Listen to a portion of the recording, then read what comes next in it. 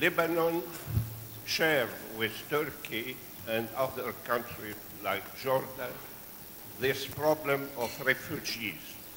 Now, on the political run, a solution is negotiated.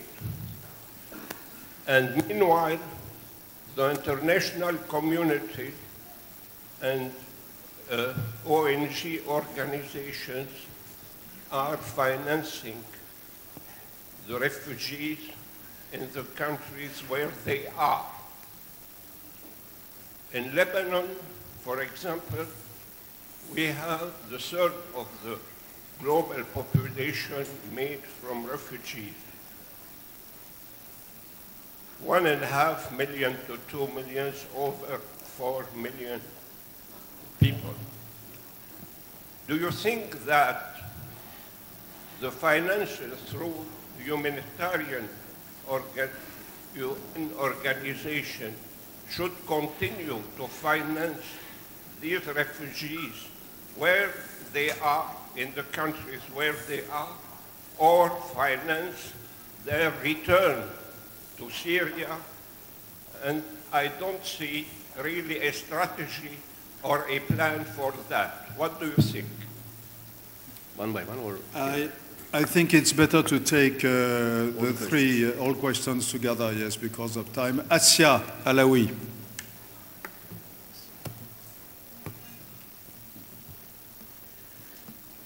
Thank you, Mr. Minister, for your listing of the earthquakes. Uh, you have suggested that the regional balance and the global balance should come together just to put everybody together, the stakeholders you mean, in order to find the appropriate answers. Who you think would be capable of just bringing together everybody since Mr. Trump has disqualified him, America because it has taken sides against Iran, since you are uh, ruling out the United Nations. So what authority, who can do that? This is my first question. The second is related to Turkey's role. What role do you see for Turkey in this quagmire? Because it hasn't been that clear. It seems that Turkey has been playing on, on different registers and sometimes not very lisible to the rest of the community, whether be it in the West or in the rest of the Arab world. So could you please clarify that? Thank you. Well, I, am glad that you have only two questions. Michel, as concise as possible. Oui, Mr. Prime Minister, we, we always appreciate your comprehensive and intellectual view of geopolitical situation. I have a very practical and maybe provocative question.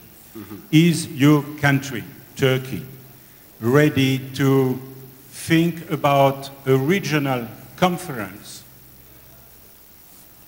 Vienna Congress format style, inspiration maybe, on a new long-lasting regional order in the Middle East where the first stakeholder will be Turkey, Iran, Saudi Arabia, Israel, I hope, and P5 countries in the back seats.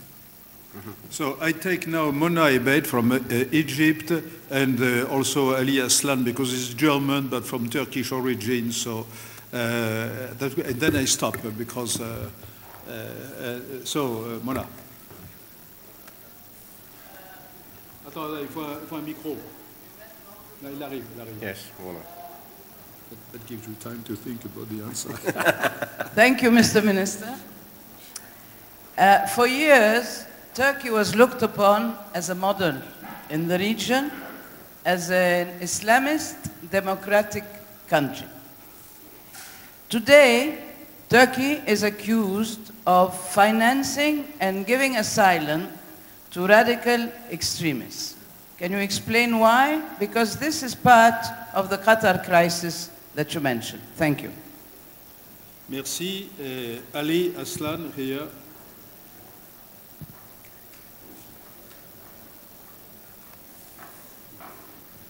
Thank you, Thierry, and uh, great to see you again, Mr. Prime Minister. be very short. As, you, as Thierry said, I'm a German of Turkish descent, and uh, tomorrow morning we'll be discussing the future of Europe. And uh, it's no shock. I'm not revealing any shocking news when I say that relations between Turkey and Europe could be could be better. Um, there are even talks, and there's some pondering in Europe whether Turkey still wants to be part of the European Union. I want to take advantage of your presence here today to hear an unequivocal statement and perhaps pledge whether Turkey still wants to take the road and down the path down to EU membership. Thank you. five Okay, I will try. Five question, no, six question. One was two. Five, six question, five minutes is not five, fair to the questions. five and a half. uh, thank you very much, uh, Thierry. Just for, since he had difficulty for my name, my last name, to clarify, Davut Oğlu. Davut means David. Oğlu means son in Turkish. So it is Davidson or Bin Davut. It is easier to pronounce it. Anyway, about the uh, refugees, I fully agree. There is no international strategy. Therefore, all the burden is on the shoulder, Riyadh's question, on the shoulder of the neighboring countries, Turkey, Iraq, Lebanon, Jordan there is an urgent need of an international conference about the strategy of refugees, Syrian refugees, but in general as well, refugees, because there are Libyans and others as well, how to deal with this question based on humanitarian values as well as financial aspects of this uh, crisis. And the first priority should be going back home.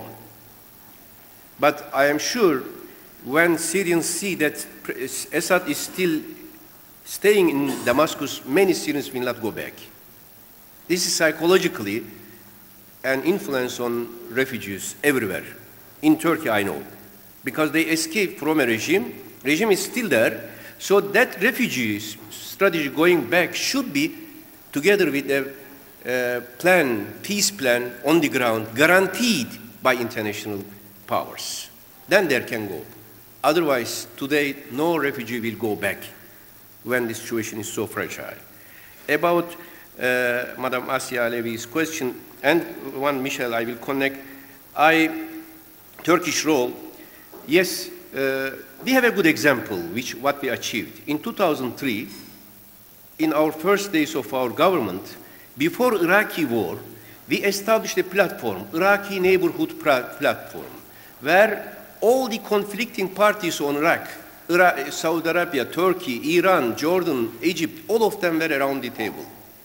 And this mechanism continued until 2008, and P5 after some time became uh, observer to this group, and this was a very successful example in order to minimize tensions between neighbors on Iraq and also create a consensus among them about territorial integrity and stability of Iraq, which was in the interest of uh, everybody. About Turkish foreign policy, what you uh, uh, mentioned, and also there was another question about it.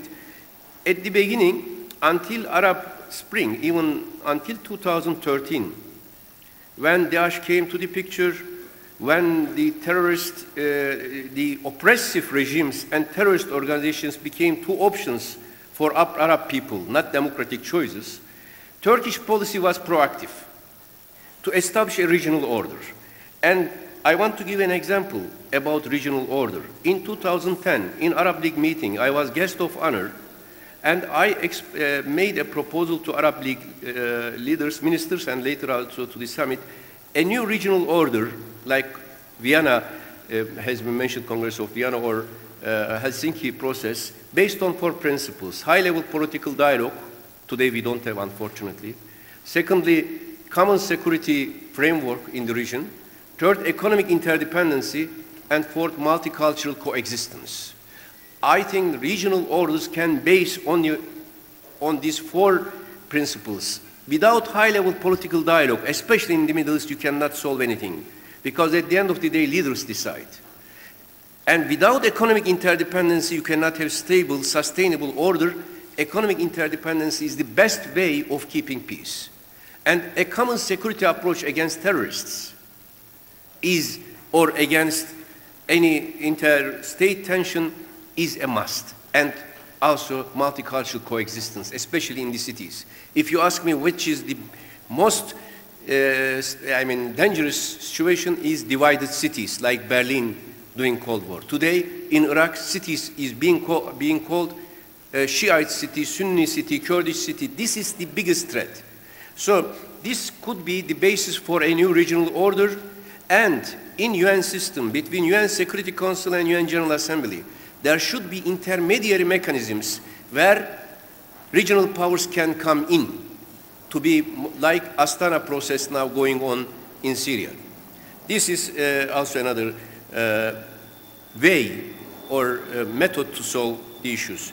About terrorism, Turkey has been the model and yes, ah, without forgetting, this proactive policy has to be changed or forced to be changed after 2013 when Daesh came to the picture as a threatening against Turkey and terrorist organizations, when democratic wave in Middle East has been changed after uh, coup d'etat in Egypt and the old uh, leaders start to come back and they had a confidence, like in Yemen, Salih, and the Arab Spring became a tension between oppressive leaders and terrorist organizations. The third option, a democratic transformation, has not been supported by international groups.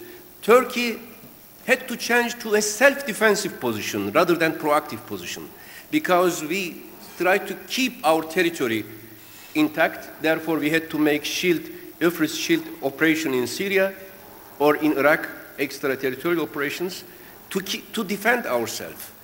I usually do not prefer this as a strategy, but the fragile situation in the region forced Turkey to be in that status quo, and especially last year coup d'etat attempt in Turkey.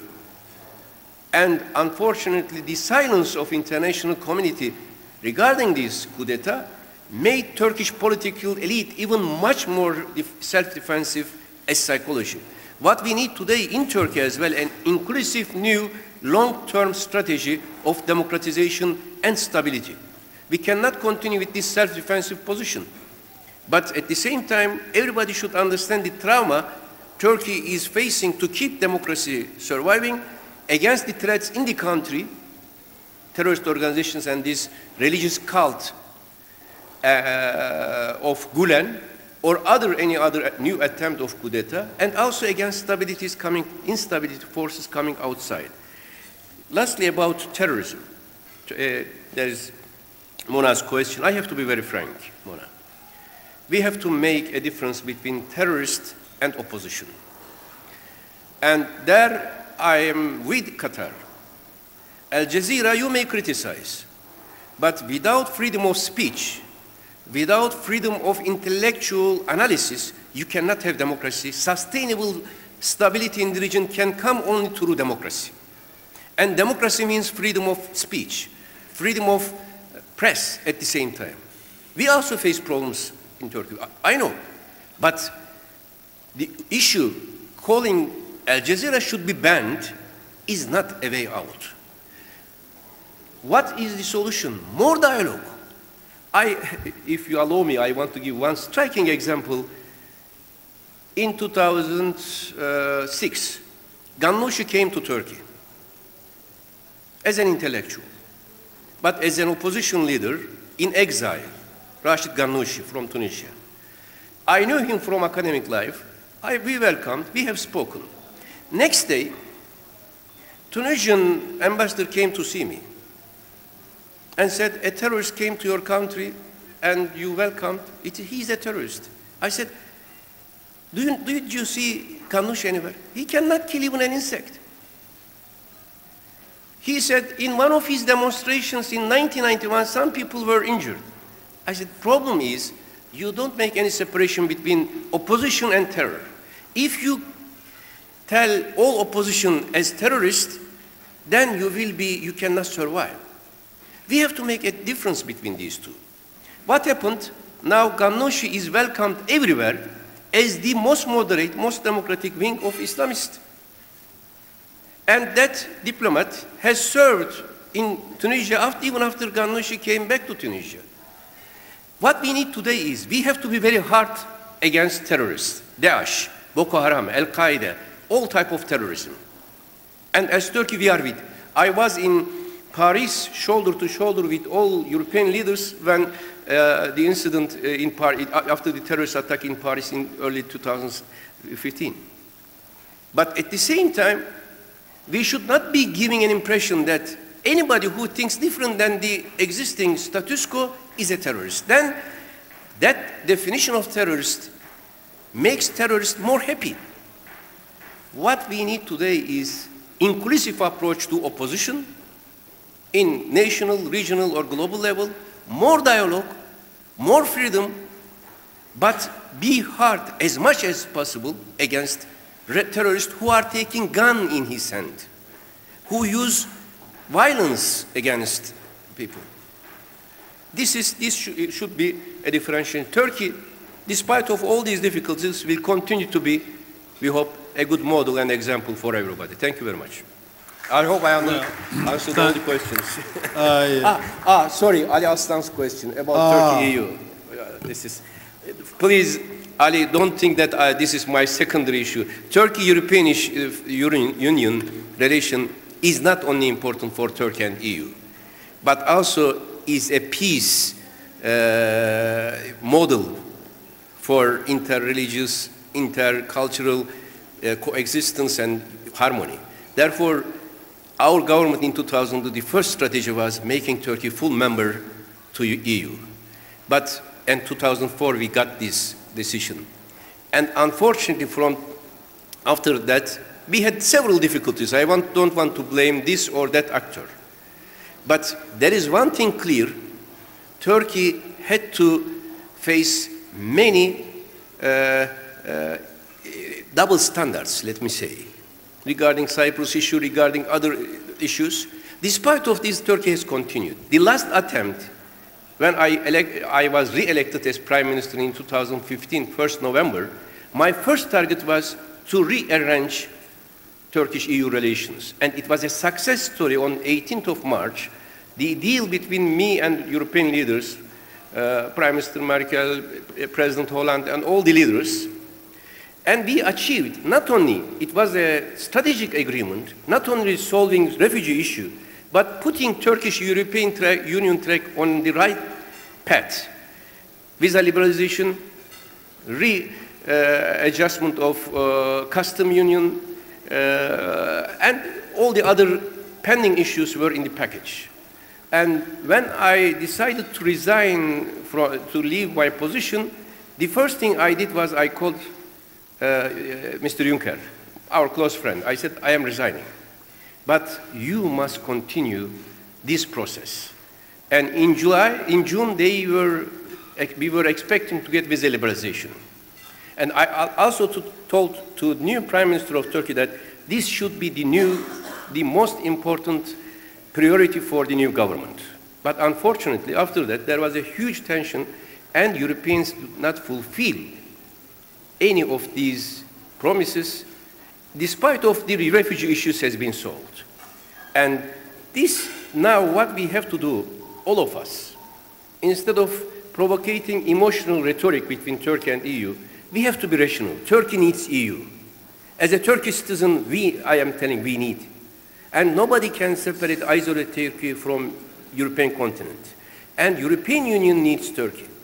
The only thing is to sit around the table, put everything on the table in an honest manner, transparent manner, and start a new process.